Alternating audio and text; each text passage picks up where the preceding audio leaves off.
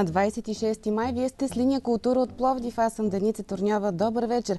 Останете с нас в минутите до 19, защото ще ви разкрием какво е общото между самолет, танки, опера.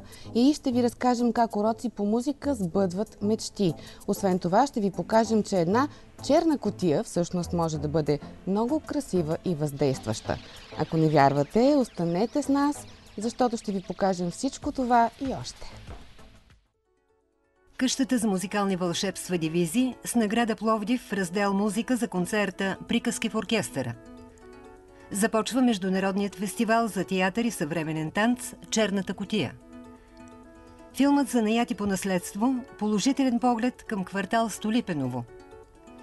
Премиерата на мюзикъла Слава – основен акцент в програмата на графити Опера Опен за млада публика – За свободата да мечтаеш чрез музика ще говорим в следващите минути, защото в студиото ни вече са Албена Бяндова и Диана Петкова от музикална къща Дивизи, носителя на награда Пловдив и то в много успорвания раздел музика тази година. Приза донесе концерта Приказки в оркестъра, който е част от проекта Деца в оркестъра. Инициативата, която сме представили и друг път, дава възможност на деца, лишени от родителска грижа, не просто да получават професионални уроци по музика, а след това и да се качат на една сцена с професионалистите. Струва ми се, този проект вече има своето логично продължение. Няма как да бъде иначе, но първо честита награда. Благодаря. Очаквахте ли? Не, беше много неочаквано и сме много щастливи от получаването на награда. Наистина много оспорвана категория, а това е едно безспорно признание за ваш и вашата работа. Да, освен това, това обръща поглед към децата и към тяхната потребност от класическа музика. Те щастливи ли бяха, като разбрахте, че имате награда Пловдив? Много бяха щастливи и много трудно повярваха, защото казват, ние нямаме чак толкова много лайкове на нашите клипове в YouTube канала, как така сме взели награда? Е, какво да кажем сега? Да лайкваме. Ами, добре. Защото за тях това значи много. Да, защото в днешни дни за тях това е една награда също. Освен на сцената, на която те се представиха, за тях много важна среда е и това, което се случва в виртуалното пространство. Така че наистина необходимо е да лайкваме, за да бъдат още по-убедени и още по-удовлетворени от работата. Работата е именно това, работата с тези деца е именно това, което пък на вас дава една друга удовлетвореност. Знам го, защото позволявам си да кажа, че ви познавам от дълги години. Как се промени работата ви с тези деца за тези последни месеци? Ами ние сега в неделя точно преживяхме втория концерт Деца в оркестъра, в който си бяхме поставили и малко по-амбициозни цели, свързани с децата, но а, тази година работа с тях оказа своето влияние, защото беше много по-лесно. В началото работата ни беше много тежка, за да можем да ги накараме да работят като едни професионалисти, наравно с професионалистите. Това Ето вече ги виждаме на една сцена с професионалистите. Да, но тази година те бяха много по-подготвени, защото цяла година всички посещаваха различни уроци по инструменти, сулфеш, задължително пиано и бяха направо едни професионално подготвени деца. Точно това ще да ви питам. По-спокойни ли бяха на този втори концерт? Или пък напротив, вече тръпката от първото качване на голямата сцена вече им даде съвсем друг заряд и Ами, нека Диана ами, да каже, тя По-скоро децата вече са по-спокойни. Освен това, те си и повярваха. Всъщност видяха, че могат и по техните сили е това да участват с един професионален оркестър на сцена. А, изключително бяха радостни, забавляваха се. Колко деца, на каква възраст? Нека да припомним. Ами, децата са от 5 до 13 годишна възраст. Е най-голямото дете. А, Имаме текучество, но между 9-10 деца участваха от Център за настаняване от семейен тип. Освен това участваха деца от къща за музикални вълшебства, дивизии. Успоредно с това бяхме поканили деца от музикалното училище, които пък се включиха към оркестъра. Така че ние се опитахме да направим една колаборация от детско присъствие в оркестъра. Продължават уроците им по музика, история на музиката, солфеш и съответните музикални инструменти. Сами ли си избраха кой на какво да свири или вие малко им подсказахте и насочихте? Имахме разговори с тях миналата година и те общо взето изказаха своите предпочитания. Ние малко се намесвахме, защото е много важно детето да почувства инструмента, който иска да изучава. Към кой инструмент имат най-големи интереси? Може би ударните инструменти. И цигулка също, И както цигулка. и блок флейта. А, Всъщност всички деца изучават задължително пиано, което за нас е базисно, основно за тяхната обща музикална култура. Солфеж също така. Да, солфеж и история на музиката, като история на музиката ни е по-скоро насочена към практическо, а, нали, практически занимания, не е толкова теоретично преподаване на музикалната материя. Освен вас, има ли и други преподаватели, които формират този вече професионален поглед към музиката от децата? Да, аз много искам да им благодаря. Това са Илка Пенчева, която преподава блок флейта и солфеж, Десислава Гюзелева, която предава ударни инструменти, Елиза Гасян, която се занимава с пияното и Борислава Василева, която предава цигулка на едно от децата. Започнахте този проект с дарения, след това получихте и финансиране от Национален фонд култура, но всъщност подкрепата, която давате на тези деца, тя няма финансови измерения, има много по-големи. Усещате ли го вие вече това нещо? Да, те станаха същите като другите деца от нашата музикална къща. За нас няма никаква разлика. Надявам се и за тях, защото общуват много свободно с всички други деца и като ги погледнете заедно, не може да направите разлика. Колко време още ще се обучават при вас?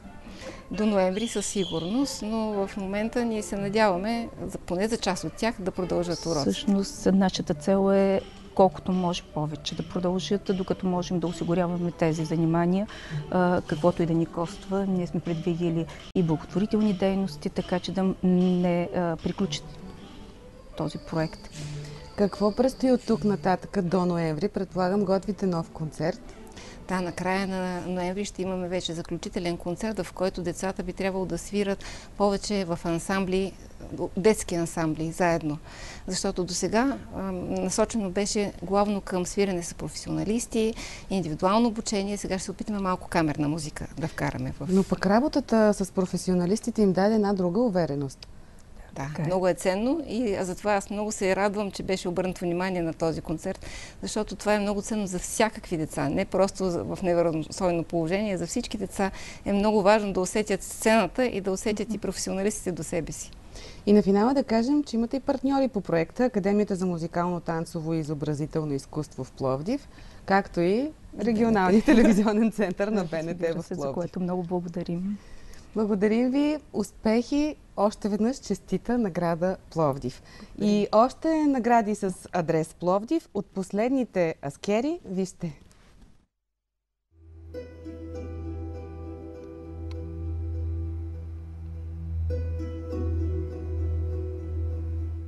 Абсолютен триумф на Пловдивския драматичен театър, който спечели три награди Аскер за спектакъла Куприна. Александър Секулов взе тази годишния приз за драматургия. Най-високото призвание професионалната гилдия даде за три от категориите, в които представлението Куприна беше номинирано.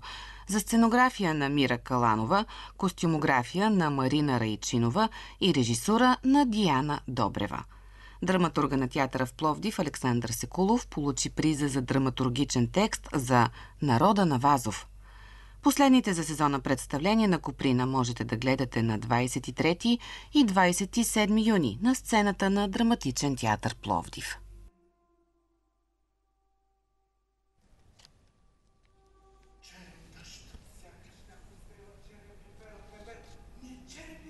И към следващата тема в предаването ни. Възможно ли е една черна котия да се превърне в пространство за красота и съвършенство? Отговорът е да, особено ако тази черна котия е едноименния фестивал за театър и съвременен танц. Неговото 16-то издание започва утре в Пловдив и ще продължи до 11 юни. Повече за заглавията, за самата селекция и кои ще са сцените, на които ще се разгърне черната котия, ще ни разкаже сега Недялко Славов, който е инициатор на фестивала. Здравейте! Здравейте. В рамките на форума тази година събирате 6 държави. Да започнем с това, кои са те и има ли такива, които за първи път ще се представят в рамките на фестивала. А, аз ще отговоря малко по-отдалече. Вече е трудно да, да има страни, които да не са били тук, защото за 16 години аз си направих една така усилието, една равносметка и се оказва, че са присъствали в рамките на тези 16 години 123 международни представления и индивидуални участници от 40 страни от 4 континента. Това е наистина... Впечатляваща цифра, Да, само за 15 години до тук Точно история. така, точно така, да. Значи тази година а, откриваме с една танцова компания утре вечер, а, която аз няма да споменавам имената им, да ги Водеща транскрибирам. италианска компания за съвременен танц. Ами да, да, да, да ги го транскрибирам, защото ми е трудно, да. А, Марко Лаудани се казва нейният ръководител. Той в рамките на 7-8 дена работи с плодивски талантливи деца Вече виждаме и моменти точно от тези репетиции на децата. и а, утре вечер а, той ще има един кратък концерт с тези деца, това, което е а, направил до сега и ще има едно участие неговата трупа. Неговите асистенти ще дойдат тук, те са тук вече. Това е първото участие, италианското. На 31 откривам... Нека преди да продължим да кажете още малко за това първо участие за този италиански хореограф. Работи с деца от Пловдив, казахме. Тези деца, струва ми се, имат опит в танците, така като ги гледам. Откъде са? От любимите на всички училища до, до пожарната, нашето любимо. А, Леко Константинов. Але Константинов. Тези деца, което е най-странното, те нямат танцов опит. Нямат никакъв. Те имат вродения танцов опит на децата. Природния, който човек губи малко по-късно. Тоест, той ги е фанал в момента. Да, наистина. Те играят, може би, 6 или 7 часа с него. Аз също се удивих на това бързо проникване. Самия той не крие хореографът, че прави често експерименти. Да. Тук това отново ли е експеримент? Ами той експериментира до толкова, доколкото а, така се являва българската традиция. То- Той използва нещо, което тя ги интересува повече. Той имаше идеята да работи с техния тан, тарантелата, те южните танци и така нататък, които някакси не влезнаха в синкопа на, на, на български неравноделен такт на мислене и на живеене. И децата, гледам, много се запалиха, много красива а, такава а, симбиоза се получи между висок опит, той е много добър професионалист, много известен хореограф наистина, и тая чистота детска. Ето ги това въртене, типично българско и така. Мисля, че това е взаимен процес. Той има идеята до година пак да дойде. Да ги надгражда тези работи. С същите деца ли иска да работи? Да, или? да, иска да. а, Всъщност, то това е смисъла да дойдеш, да минеш, да запалиш нали, едни млади сърца и утре други ден те дори да не станат танцори, да носят то план, защото света е пълен с продадени пиана на майки и бащи амбициозни, които са искали техните деца да станат такива или накива, но те наистина са станали такива, поне за известно време, което е по-важно дори от това да си един професионалист. Та той го прави, Марко. Добре, да продължим натам с заглавията, които ще ни презентирате. На 31-ви идват ни испанци, наистина много висока топка са, а, танцо дуо от Мадрид. А, Тяхното представление е на 31-ви в Драматичния театър, камерната зала. А, сега танцът е такова нещо, че не можеш да го преразкажеш. Който иска да заповяда да го види. А, мога да давам разни тълкования, критически, какъв е танца, откъде идва, как идва, но по-важното е магията, а тя не може да се обясни. След това на чет- Самата испанска танцова компания, тази, която на 31 ще видим, те се определят като артисти, които се фокусират върху темите на деня и създават възможност за различни дискусии. И няма как да не ви попитам как големите събития, които буквално промениха света, COVID-пандемията, сега и вой- войната в Украина, се отразяват на модерния танц, че дори на вашия фестивал. Да, творец рефлектира на тези неща, защото той е сензитивен, той, а, той усеща тези неща, така както усещаме промяната в атмосферното налягане преди буря и така нататък. А, тия, тая колективна сетивност е най-изострена в Твореца.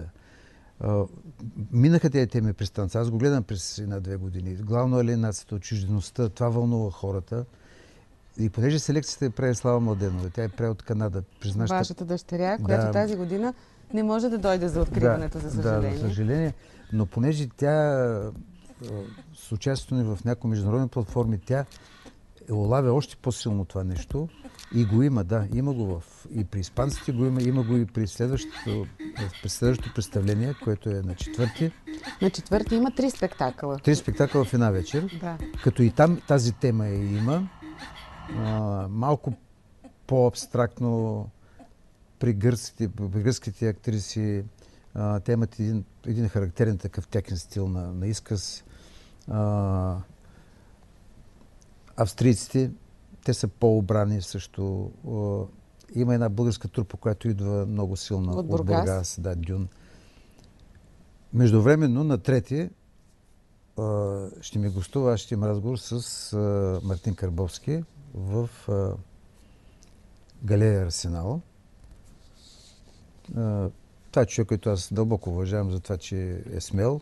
Сега той си има и много врагове, и много приятели. Той направи една, пиеса, която гледах, много се смях. Крава се казва, пиеса на абсурда. Ако се спомняте, преди време една крава беше забегнала, Видинско беше пресякла границата и не можеха да я приберат, защото не отговаряше на евростандартите. Не беше голяма комедия. Предното представление, което говорихме за трите трупи, е в, също в камена зала в драматичен театър. И няколко думи буквално за закриването на фестивала на 11, на 11. юни. С едно много ефектно представление да. от Унгария, доколкото знам. Да, така е, да. Темата е така преразказана през онези наши амфибийни състояния на плуващия човек, нали, там е другия говор, другата тема е летящия, плуващи. Това са все наши фази. Искам само да кажа, да благодаря на Община Плодив, на Министерството на културата, на Италианския културен институт, на Унгарския културен институт, които без тяхната помощ такова нещо не може да стане, като този фестивал. На добър час на фестивала. Благодаря. благодаря. Какво си представяте, когато чуете Столипиново, ви питам сега. Безспорно аналогиите тук са много, но сега ви предлагам един малко по-различен поглед към квартала.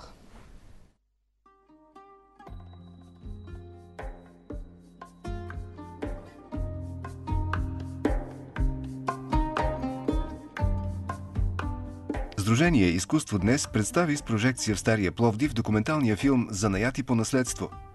Автор е Осман Юсеинов, продуцент Никола Венков от Довар колектив, главен асистент в Института по философия и социология при Българската академия на науките.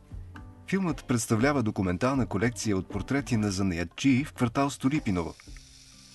Прави един почти графичен разрез на общността там, показвайки ни и млади, и възрастни, и традиционни и модерни хора, но всички обединени в едно – желанието да живеят и работят по достоен начин чрез собствените си ръце – и уменията си.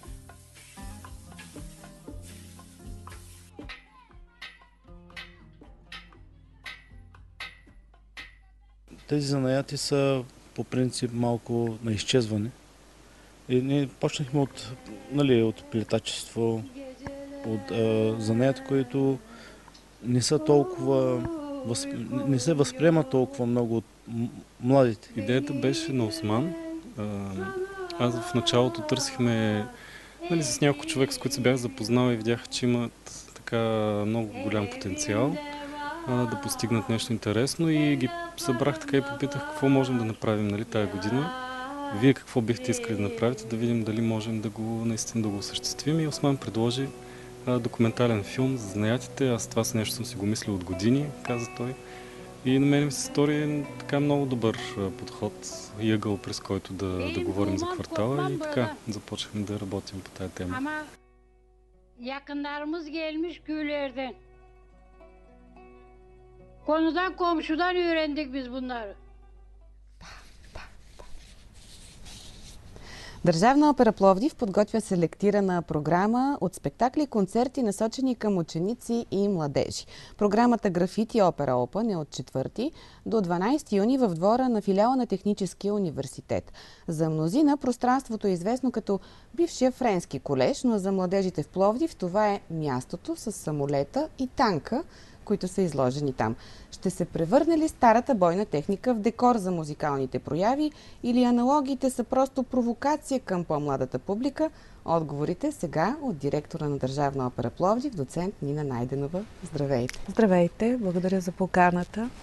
Е, танк, самолети, опера. А, и най-вече част от програмата на голямата опера Опен на Античен театър, а, като наш дълг към най-младите а, и артисти, защото в един от проектите Фейн а, мюзикъл, много известен, с а, а, един култов филм от 80-те години. А, е реализиран от 25 млади артисти в симбиоза с нашия оркестър и солисти на опера Пловдив под режисурата на Петър Одаджиев и изключително обещаващо и вълнуващо да видиш този млад ентусиазъм, представен в три вечери на 8, 9 и 10 юни. Изпреварихте въпросите ми за, както се казва, черешката на тортата в програмата. Разбира се, Да. че ще е мюзикъл слава. А, и понеже този мюзикъл е в едно такова колежарско а, пространство, е, изключително сме благодарни на инженер Николов, а, директора на филиала на Техническия университет, който ни даде тази аристократична стара сграда, този двор, в който ние можем да об- а, обживим именно с вълненията на едни млади хора, а, завършващи, и като казвам завършващи своето образование с мечти и слава за бъдещето, но всичките е, препятствия, които се случват по този път, са изключително вълнуващи. Ние се насочихме именно към класовете, които искат да празнуват по неформален начин края на учебната година, младите хора и началото на лятото. Какво по-прекрасно, ако не направим и по-полека симфони с Стефан Вълдобрев. Всъщност с... това е началото. Това е началото. Да загреем на лятна вълна с това толкова обичано заглавие и толкова любими музиканти. Да, и с тази много интересна симбиоза симфоничен оркестър и а, тази музика на Стефан, която е за всички възрасти. Нека не забравяме и това. Откриваме на 4 а, юни с този концерт. Естествено няма как да не направим едно намигване към най-най-най-младата ни публика. Най-малката дори. най-малката, да, с Академията на госпожа Опера, която ни е приготвила един изключително интересен концерт, който трудно научих името, но това е част от магия. Бибиди, бобиди, бу. А, песни от най-известните мюзикали. Цар Лъв, Аладин. А, Пепеляшка, Леденото кралство, Мери Да. Попис, все любими заглавия на най-малките зрители, които Да. от зрители пред екрана ще се превърнат в зрители в операта, макар и в това нетрадиционно пространство. Тоест, двора сам по себе си ще бъде декор за всичките спектакли. Да, защото сме а, така поставили като една много провокираща задача към нашия художник Петко Танчев да направи и визуализация върху тези стени, един мапинг, който пък най-най-най ще се включи в заключителната вечер или Game Music Symphony, музика на а, така най-популярни игри, а, които, компютърни игри, с които автор е един българин, Борислав Славов.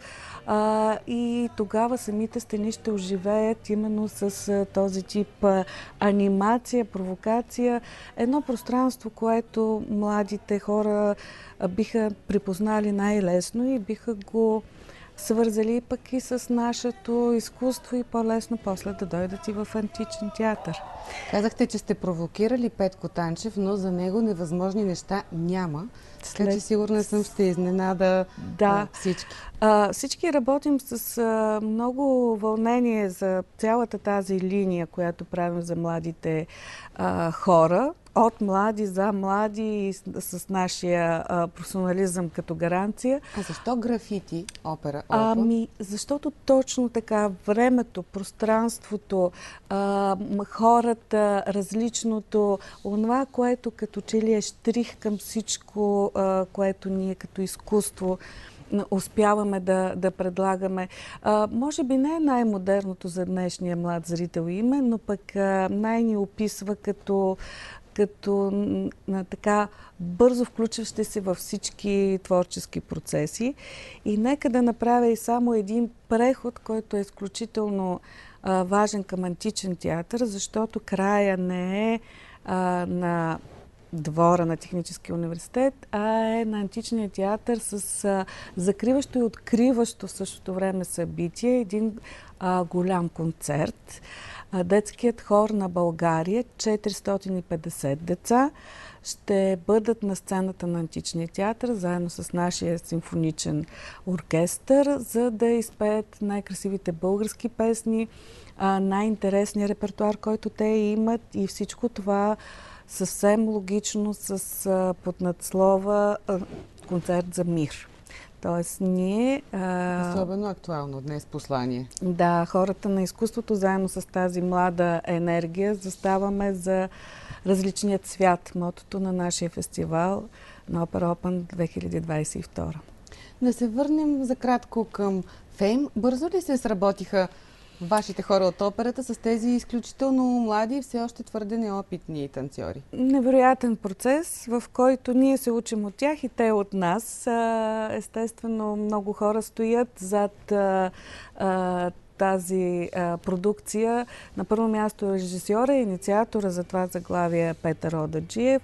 След това Амадео Джунта е хореографа, който е италянец с а, доста така добри заявки в а, хорео... част от нашата балетна трупа, но в същото време и вече и хореограф на няколко проекта.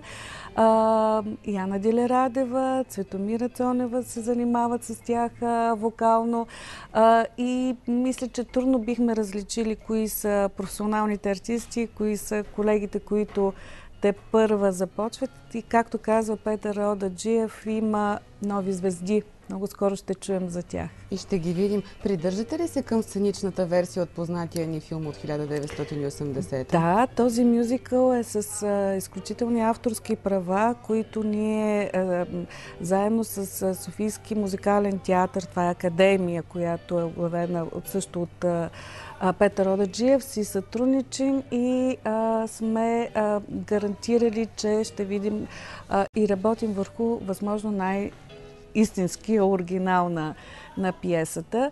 И така, това е наистина гаранция, че нещата ще... Е, младите хора са влязли в най-най-най-дълбоките дебри, там където трудно се влиза. И после трудно се излиза, защото това е изкуство, което като ти влезе под кожата, остава за цял живот. Темата е много силна на самото представление и това не е случайен наш избор. А, това е едно предупреждение какво може да се случва отвъд мечтите ти да бъдеш известен, от стремежа ти да получиш бърза слава.